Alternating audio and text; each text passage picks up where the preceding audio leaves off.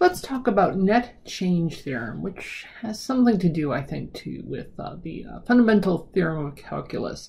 If we have an derivative integrated from a to b with respect to x, this is simply equal to the antiderivative, let me make sure I get this right, f of b minus f of a.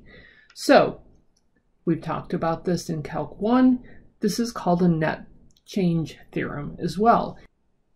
If we take this equation and add f of a to both sides and look at this in terms of f of b, we can also think of this as f of b equaling some initial value, f of a, plus the integral of the rate of change. That is, the integral of f prime of x dx, that's the rate of change. Remember, the first derivative is the rate of change from a to b.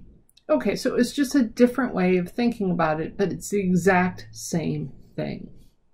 Let's look at what happens when we evaluate this with a graph. So here I have a graph of f of x. Remember, this is f of x, not f prime of x. If, however, I'm asked to solve the integral from negative 3 to 2 of f prime of x, that's simply equal to f of b minus f of a.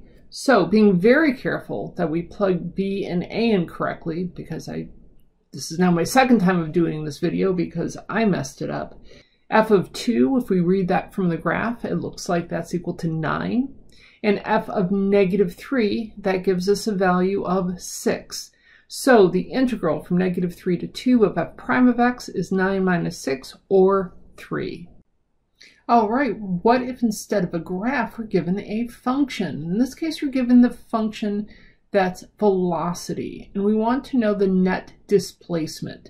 Well, if you remember the relationship between velocity and, let's see, acceleration, I think if we had, let's see, our relationships between velocity and distance and acceleration of velocity and distance were this.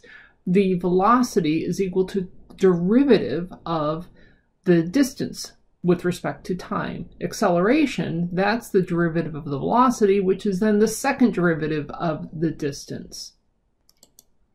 If we go back to the fundamental theorem of calculus again, or what we were calling now the net change theorem, the integral of vx dx from a to b is then equal to x of b minus x of a, which is in fact the displacement. So because the velocity is the derivative of the um, distance, if we integrate the velocity, then what we end up is the displacement. All right, let's go ahead and do that. So we'll be taking the integral from 0 to 8 of 5t minus 4 dt and we'll end up with 5 halves t squared minus 4t evaluated at 0 and 8. And you can see why um, if you can't do the basic integrations, Calc 2 is going to be a tough class. So that's why we're doing this right up front. And if we go ahead and do the arithmetic, we find that this is equal to 128. If I was given this in terms of meters per second, that is my velocity, that means this would be meters. And that is how far the particle moved from the time t equals 0 to t equals 8.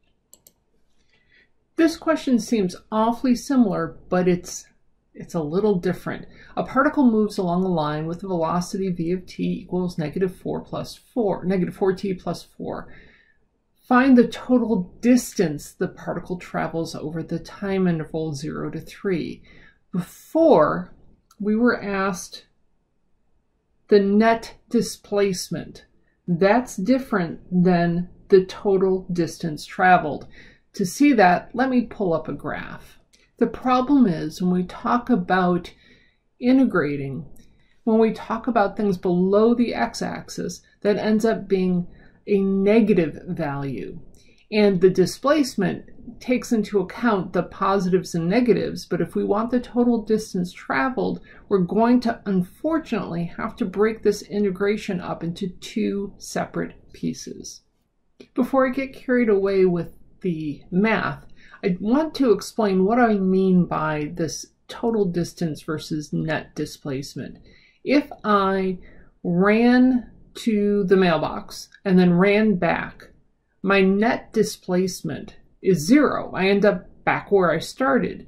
But the distance I traveled, well, that is actually a positive value. So when I'm going in a positive direction, we consider that positive. When I'm moving in a negative direction, in order to find the distance or the actual distance traveled, we're going to take the absolute value of that, which means if it's a negative value, to find the absolute value of it, we'll negate that. So the pink triangle that I have up here, that goes from 0 to 1.